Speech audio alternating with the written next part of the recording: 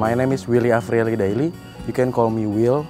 So right now I'm a master student in uh, University of Florida at School of Forest Resources and Conservation. I'd like to ask more about the sampling itself. I like to learn uh, new theory, new methods, and new perspective, and also new paradigm that I will imply in my uh, master thesis.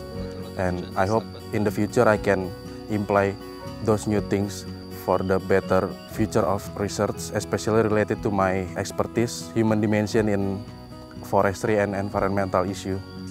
This summer I will uh, conduct data collection in West Borneo, and, and I will work with uh, indigenous community community in West Borneo. Uh, it's about traditional agricultural practice and the fire risk behavior, and I want to know about their mental models, how they make a decision about some alternative livelihoods. One enormous benefit of this program is bringing Indonesian students into that mix of American and other international students so that they're all learning from each other.